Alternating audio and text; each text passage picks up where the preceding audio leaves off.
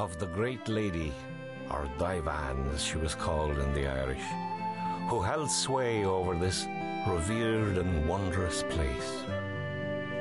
An áúd nagóniach an Divan for Grotham as Meyer What shall we do for the timber? The last of the woods is down. Kilcash and the house of its glory, and the bell of the house is gone. The spot where that lady waited who shamed all women for grace, when earls came sailing to greet her, and mass was said in the place. I learned that song at school as a boy in Carrick-on-Suir. Like all songs of past times, it was peopled with what I thought of as mythical figures. But one day I happened on a scene which brought the myth and the reality together before my very eyes.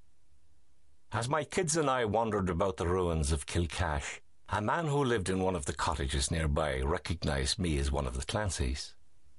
You're one of the singers, aren't you? Liam, is it? I knew your father Bob from the insurance business. He used to call you by the English version of your name, Willie. Well, now this is good. Do you see the old church down there below the castle? That's been there since the seventh century, and inside that church there's a headstone with your name on it William Clancy. The Board of Works are trying to save what's left of the early church, and the big stones are pulled back from the underground vault. There was a hint of awe in his voice. They've cleared away decades of debris. If you go down the steps and let your eyes get used to the dark, you'll see herself stretched out there on Divan, the great lady, Lady Iveagh, with two other skeletons. Her husband a Richard Butler, I believe he was, and the bishop of the time, whose name I can't recall. Hmm. Their lead coffins were taken by the IRA to make bullets during the Black and Tan War.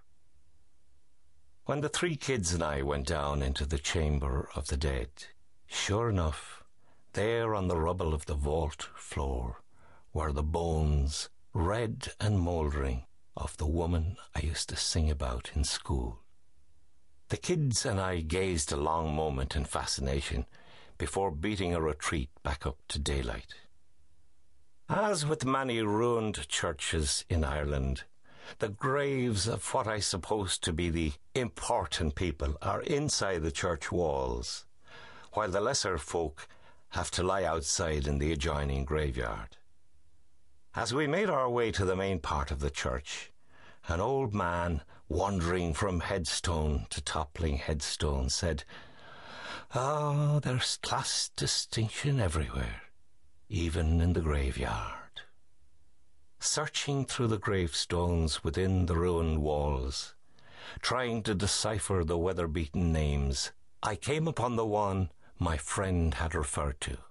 Since it was made from hard slate and leaning away from the worst of the weather, it was easy to make out the names.